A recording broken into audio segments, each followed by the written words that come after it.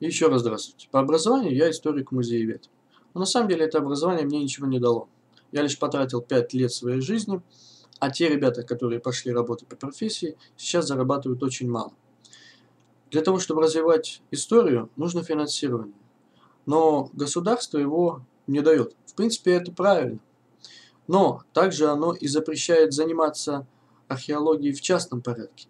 Поэтому в этом видеоблоге речь пойдет о черном археологе.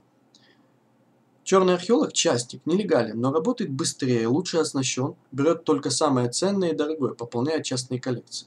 Существует расхожий миф о том, что черные археологи уничтожают якобы ценные для истории захоронения и городища.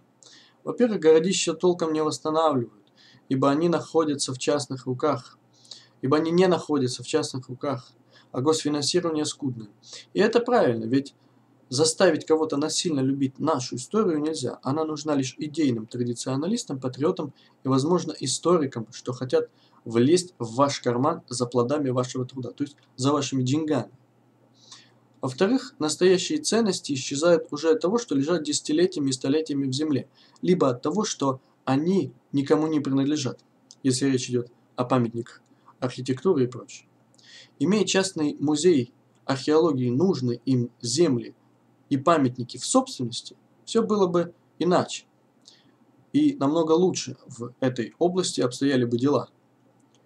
Сейчас же существует огромное количество государственных запретов и ограничений, не затрагивая вопросы принадлежности земли и архитектурных объектов. В-третьих, черные археологи не заинтересованы в уничтожении ценностей, ибо это их хлеб. Когда когда как государственные институты и специалисты чаще всего работают за идею, жертвуя собой ради других.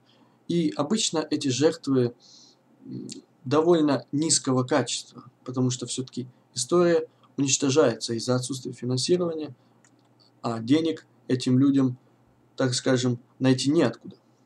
Именно эти проблемы решают черные археологи, спасая ценнейшие предметы, которые на черном рынке стоят дороже, нежели экспонаты в государственных музеях.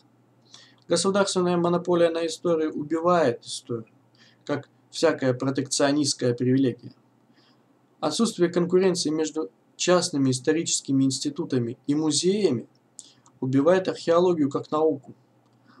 Я вовсе считаю, что факультет музейного дела, в котором я учился, в Государственном институте, стоит ликвидировать, как и в принципе сам Государственный институт. Ситуацию спасают только частные заинтересованные лица, приватизация земель и всех культурных объектов, приватизация образования. А также ликвидация огромного количества законов-ограничителей. Проще даже не продать и передать множество государственных учреждений их руководителям и персоналу, создав частные ОАО, ведь речь идет об эффективности, а не о наполнении бюджета. Впрочем, можно продать землю с открытых аукционов, а предприятие крупным частным музееведам и искусствоведам. Но сделать это крайне необходимо. Спасибо.